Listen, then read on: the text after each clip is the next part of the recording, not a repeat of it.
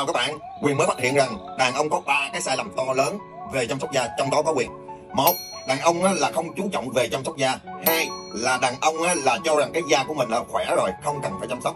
Ba là đàn ông cho rằng là việc cái mình chăm sóc làn da mình sẽ làm cho mình nữ tính. Đó là sai lầm to lớn trong đó có quyền. Thì sau đây sẽ là một cái giải pháp cho cánh đàn ông à, cải thiện cái làn da của mình. Đây là cái sản phẩm chè dưỡng nhan gần đây quyền ăn rất là thường xuyên. À, nhưng mà bây giờ quyền kết hợp nó với cái collagen của Nutrilite mình kết hợp hai cái thì nó có thể sẽ rút ngắn cái thời gian giúp cho mình à, chăm sóc cái làn da của mình tốt hơn. Thì bây giờ quyền sẽ thử đây chè dưỡng nhan quyền đã nấu rồi nè. À, và để tủ lạnh nó rất là lạnh rồi nè đó một ly luôn. Và đây là một cái gói collagen của Nutrilite quyền sẽ ra.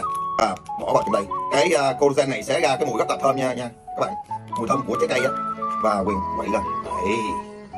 Quậy lên quậy lên quậy lên quậy lên. À, và sử dụng thôi thưởng thức thôi. À, nhằm giúp cho mình cải thiện cái làn da của mình nha.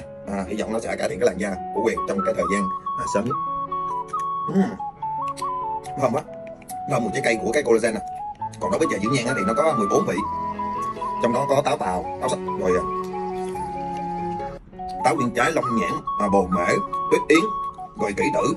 Còn là những vị giúp chúng ta thanh lọc cơ thể. À, tốt cho cơ thể chúng ta cũng như là làn da nha các bạn. Uhm rất là ngon. Cả nhà mình có ai thử cái kiểu này chưa? Hãy cho quyền biết nha.